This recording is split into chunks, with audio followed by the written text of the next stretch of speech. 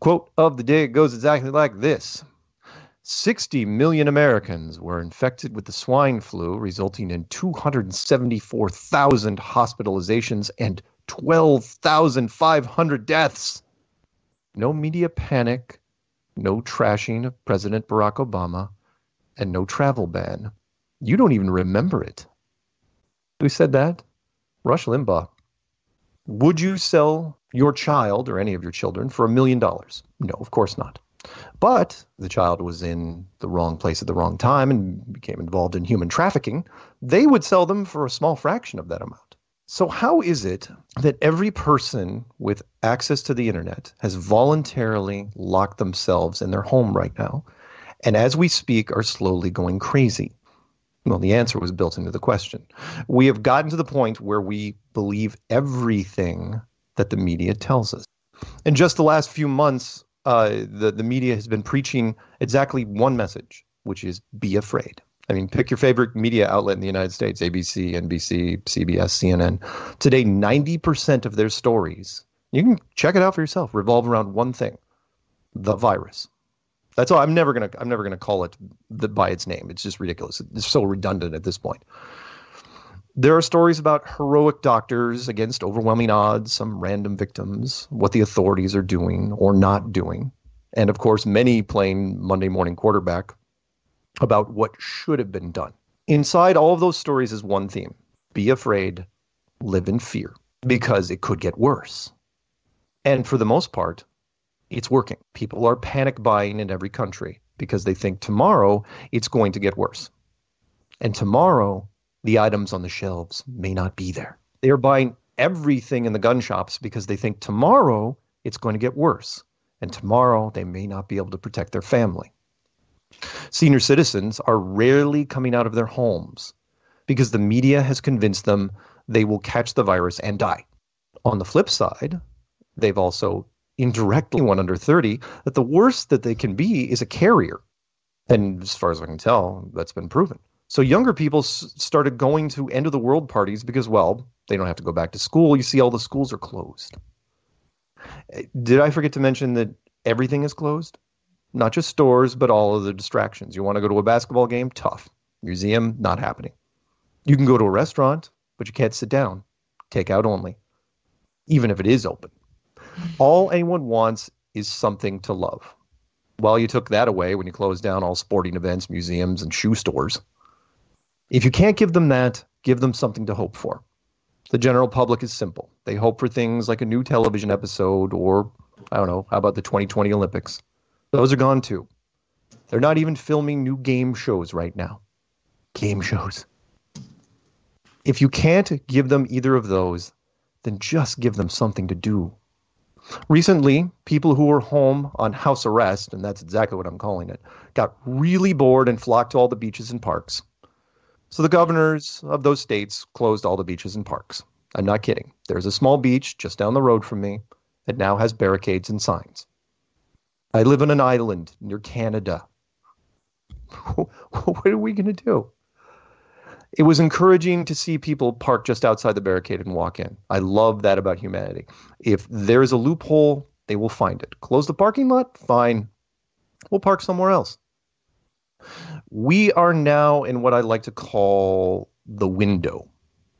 It doesn't matter if you think the virus is a hoax or not, because at this point, most of the general public believes it. Power perceived is power achieved. You told the world on all channels to be afraid, and now everyone lives in fear. But what exactly are they afraid of? For most people, it's because they were told to be afraid. FDR, look that up, kids, said that we have nothing to fear but fear itself. And if he were alive in 2020, he would be shocked. It's so easy it was to accomplish. I could go off on different psychology studies about this, but for me, it boils down to something simple. Fear is the ultimate drama, and we can be addicted to it like anything else. Think I'm kidding? Go to Netflix and see what's trending. How many films are there in trending tied to what's happening now? Contagion, pandemic, outbreak, doomsday preppers, 2012. We are currently so addicted to fear that even when we turn off the news and try to entertain ourselves, well, you see what we're drawn to. It's like slowing down next to a car crash. Everyone does it. We wonder at the carnage and secretly say, better them than us. But now everyone's saying, well, what if it was us? What if that car crash happens to me?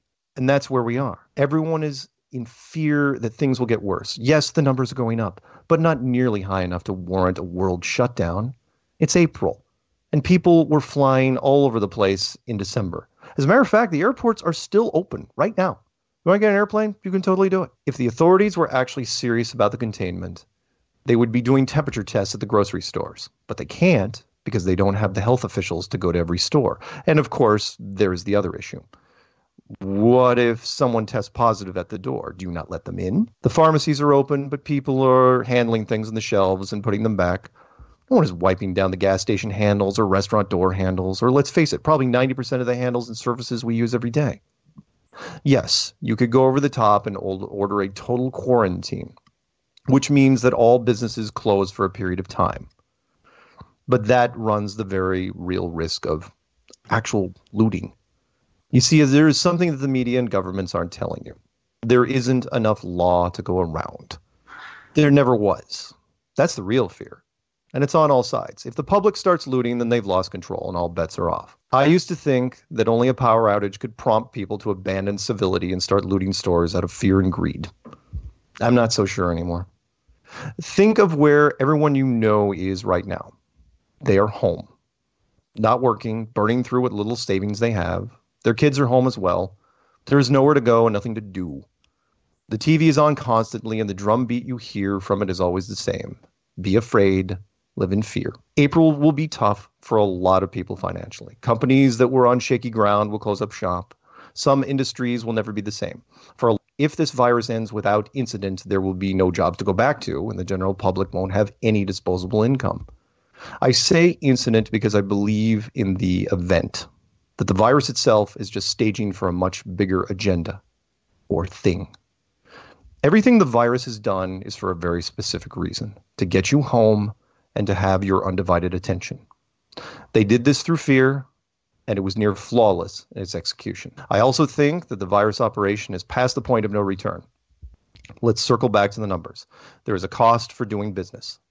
You can put a price on human life. If the event doesn't happen and the virus fades away, then the financial world will look at the books and see if the extreme take, steps taken were worth it. Are 3,000 deaths worth $2.2 trillion?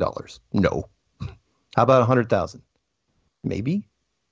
The tobacco industry killed millions, and all of those companies are still around today. Unless you break a million deaths, not cases, deaths, then the states won't go along with any disease in the future. In short, this will become the greatest cry wolf example in history of, well, ever. So the secondary agenda has to move forward and the event has to proceed, whatever it is. I'm going a bit off road here, so let me give some easy advice and end with this. The next time you run into someone who talks to you with fear in their eyes and starts crying about how things are going to get much worse, calmly ask them, when? Don't be afraid because of what could happen. Just be ready for when it does. In short, don't be scared, be prepared.